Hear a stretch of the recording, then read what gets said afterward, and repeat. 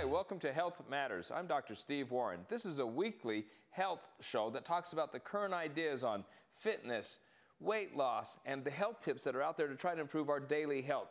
You know, it's interesting to know that 60% of your brain is made up of fat.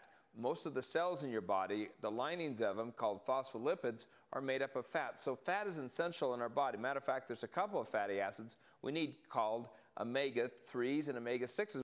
You know, we talk about saturated fats that come from animals, we talk about trans fatty acids, and we're going to talk about some about mono unsaturated fats and polyunsaturated fats. We know, need to know the difference so you can make the right decision in what you eat.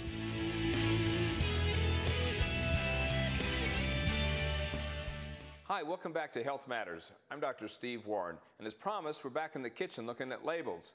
We're going to have some labels on my webpage and some ideas on my webpage, which is www.healthmatters.com